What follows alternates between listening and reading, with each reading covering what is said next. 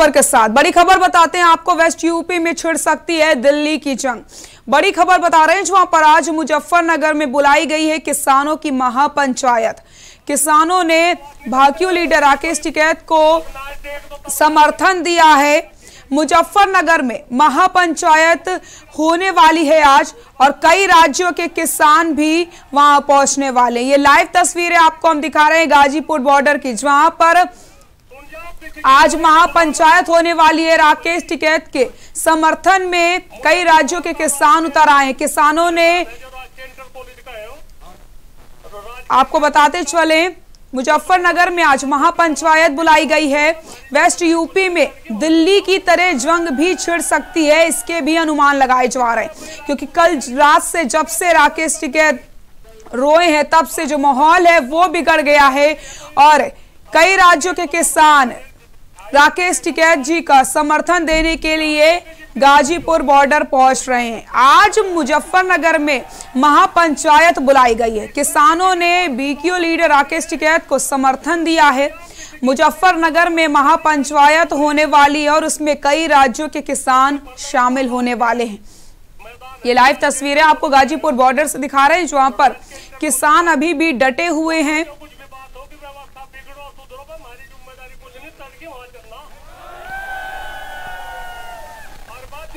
और कल रात हाई वोल्टेज ड्रामा भी देखने को मिला। और इसी खबर पर ज़्यादा जानकारी के लिए हमारे सहयोगी वरुण हमारे साथ जुड़ चुके हैं। वरुण, कल रात से ही जब से राकेश टिकैत जी रोए हैं, तब से माहौल थोड़ा बिगड़ते नज़र आ रहा है और कहीं ना कहीं अनुमान लगाए जा रहे हैं कि दिल्ली की तरह यहाँ पर भी जंग हो सकती है और आज महापंचायत जो बुलाई गई है, क्या कुछ पूरी जानकारी मिल पा रही है? बिल्कुल, मैं आपको बता दूँ कि आज मुजफ्फरनगर में किसानों की महापंचायत राजकीय इंटर कॉलेज के मैदान में 11 बजे होनी है, जिसको लेकर जिला प्रशासन पूरे अलर्ट मोड पे है। ज़िले के जो वरिष्ठ पुलिस प्रशासनिक अधिकारी हैं, उन्होंने मुजफ्फरनगर में डेरा डाल दिया है। हालाँकि रात एक बजे नरेश टिकैत ने अपने ट्विटर हैंडल से एक ट्वीट किया है कि ये किसान है, ना झुकेगा ना टूटेगा और ना रुकेगा। अब सबसे बड़ी बात यह है कि राजकीय पंचायत जो मैदान है, इसमें पहले भी कई बार किसानों की महापंचायत हो चुकी है। बसपा पार्टी में दो बार हुई है, भाजपा पार्टी में एक बार हुई है।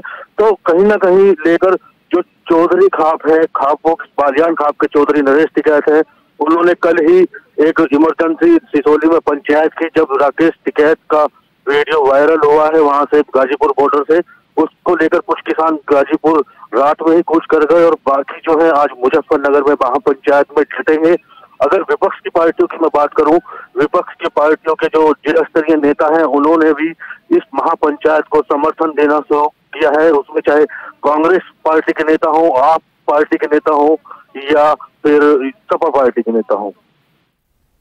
वरुण, जिस तरीके से कल जो चीज़ चीज़ें देखने को मिली रात में और अचानक से फिर किसानों को समर्थन मिलने लग जाता है, किसान वहाँ पर बढ़ने लग जाते हैं तो क्या अभी भी किसान लगातार पहुँच रहे हैं?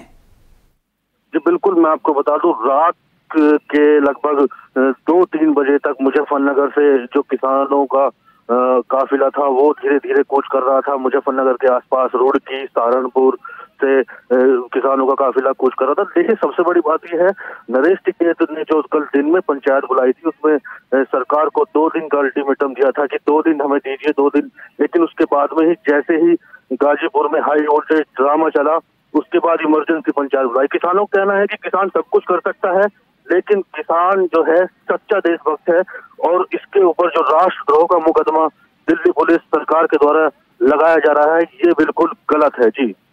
बिल्कुल वरुण, जिस तरीके से कल पुलिस प्रशासन वहाँ पर मौजूद था, उसके बाद लगातार माहौल बिगड़ा और किसानों ने लगातार लोगों, किसानों से बातचीत करी और किसानों को समर्थन भी लगातार मिलता रहा। तो फ़िलहाल क्या कुछ और आगे की रणनीति होने वाली है? किसानों का क्या कुछ कहना है? आपकी बात हो पाई है उनसे?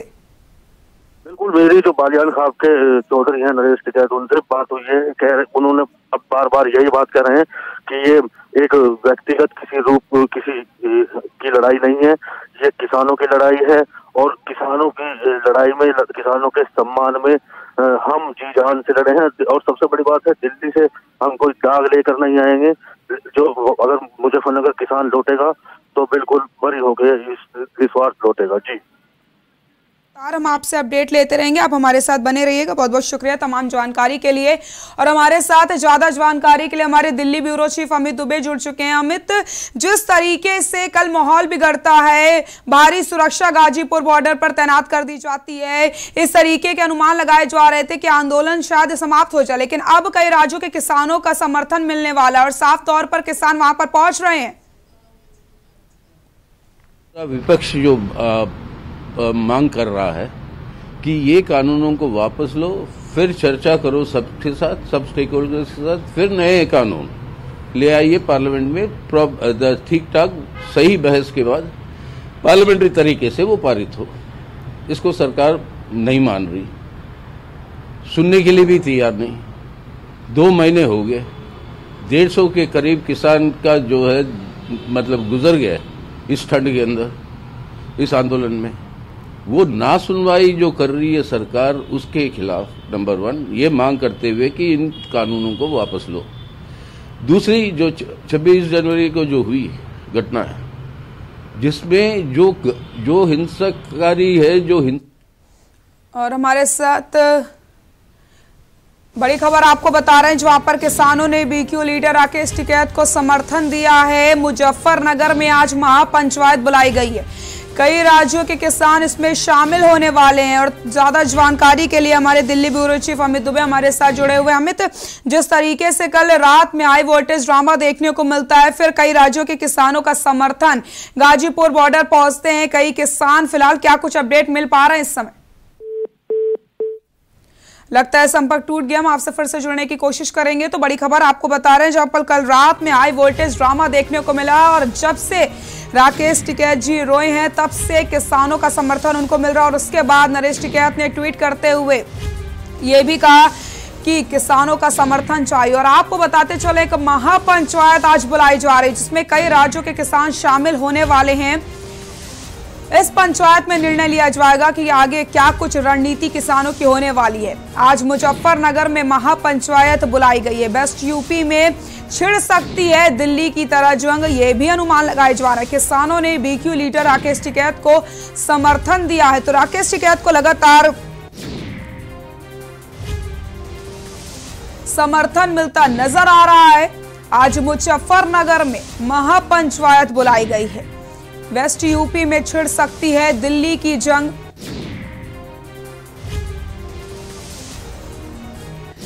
और हमारे साथ दिल्ली ब्यूरो चीफ अमित दुबे ज़्यादा जानकारी के लिए जुड़ गए हैं। अमित, जिस तरीके से कल रात में हाई वोल्टेज ड्रामा देखने को मिला और उसके बाद जिस तरीके से कल गाजीपुर बॉर्डर में भारी सुरक्षा तैनात की गई और आज महापंचायत होने वाली, क्या कुछ जानकारी मिल पा रही? देखिए, कल सरकार का अल्टीमेटम देने के बाद जो है रात भर पूरे तनाव गाजीपुर बॉर्डर पे बना रहा और उसके बाद जो है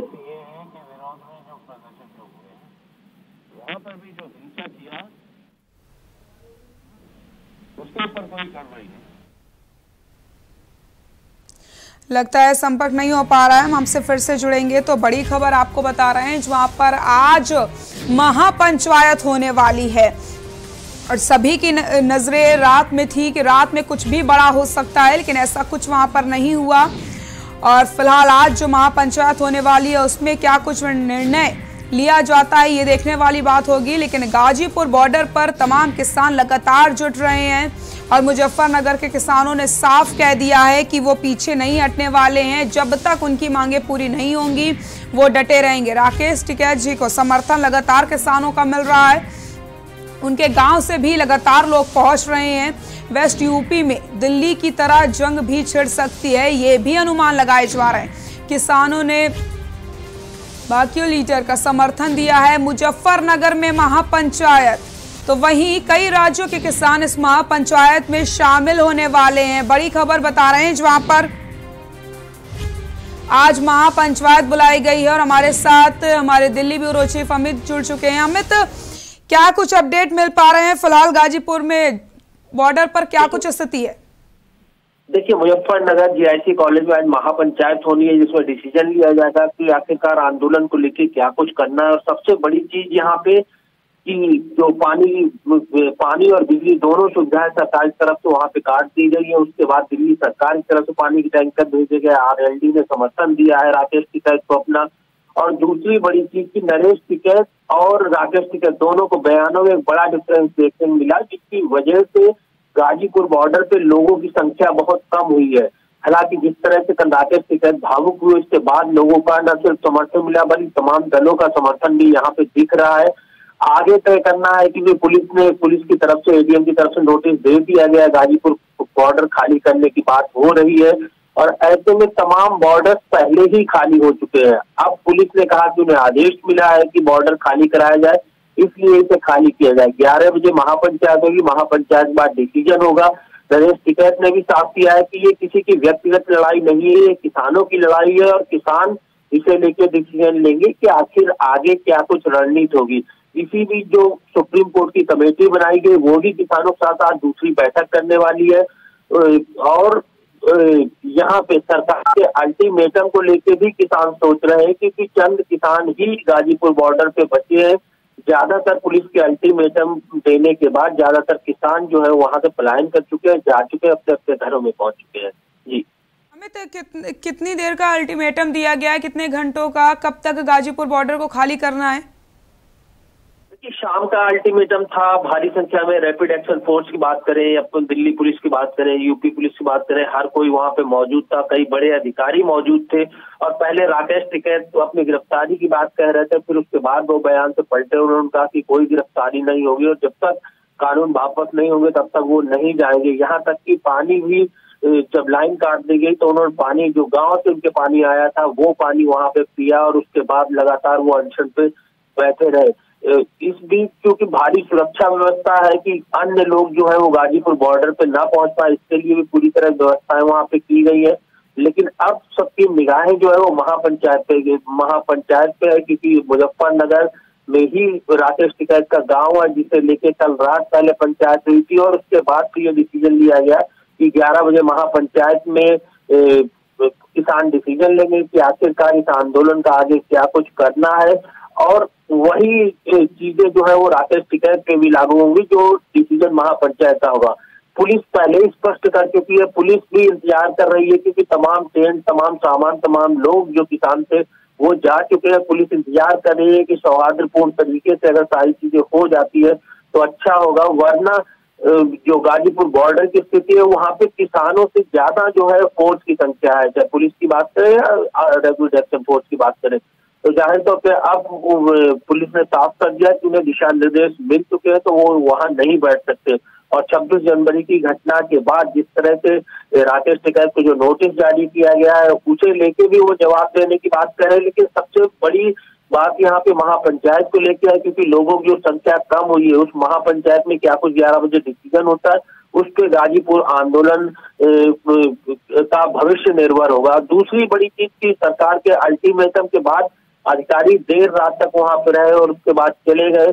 और अभी भी जो नोटिस की बात कही जा रही है जो पुलिस की तरफ़ से कही जा रही है कि जल्द से जल्द जो है वो गाजीपुर बॉर्डर को खाली कराया जाएगा। पुलिस वेट एंड वॉचिंग की स्थिति में दिख रही है और उसके बाद फिर कोई भी डिसीज़न ले सकती है। महापंचायत पर ही सबकी नज़र टिकी हुई है, क्योंकि इस पंचायत में ही निर्णय लिया जाएगा कि आगे क्या कुछ करना है। अमित, बहुत बहुत शुक्रिया तमाम जानकारी के लिए आपका। तो बड़ी खबर बता रहे हैं आपको, जहाँ पर आज महापंचायत होनी है और कल जिस तरीके से पुलिस फोर्स प्रशासन गाजीपुर बॉर्डर पहुँचता है, बॉर्डर को खाली करवाने के लिए अल्टीमेटम दिया जाता है। लेकिन अब महापंचायत होने वाली है और इस पंचायत में ही निर्णय लिया जाएगा कि क्या कुछ आगे की रणनीति हो सकती है। रुकते छोटे से ब्रेक के लिए।